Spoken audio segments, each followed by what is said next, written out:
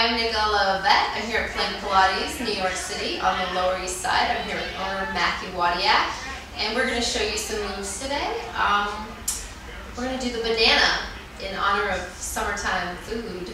And bananas. And bananas. Sure, summertime, wintertime. All right. All the time. Let's do it. All right, let's do it. So grab your left hand on the bar, Matthew, and slowly bring the bar down in between the silver poles. Watch your head. Hand to the other side. If you have a woman, sometimes the grip is a little closer. For men, they're a little tighter. You can widen the grip. All right. So your head is not really resting, Matthew. It's long on your spine and active. The feet are long and active. The heels are together, and the toes are slightly apart. Here, you're going to inhale. Start to lift your head and feet up at the same time, pulling up as high as you can, keeping the hips stable and then slowly elongate the spine as you lower back down, pushing the arms back to straight. Now the goal here isn't to bend the arms so much, try and keep the arms straight, works the abdominals more.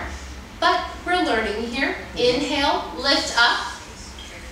Good, hold the position, Matthew. And as you exhale, grow longer as you lower back down. Good. Lower the feet, lower the head at the same time. Last one here. Inhale, come up. And for a challenge, you can lift the top leg up. Try not to twist the upper body, Matthew.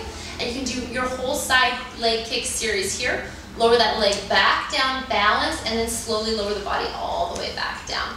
For a transition, you can flip the hands so the left hand comes back where the right hand does. Be careful. Good. And come into your teaser position. And then do your teasers.